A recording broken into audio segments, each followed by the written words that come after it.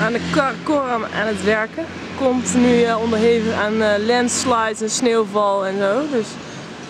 En eh, het werkplezier straalt hier vanaf, echt niet normaal. Ondanks de hitte in de zon. Daar komt nog een kunstwerkje aangereden.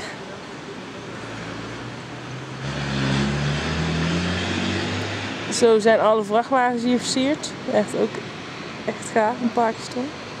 Wij gaan onze fietsen ook zo doen. Cool hè?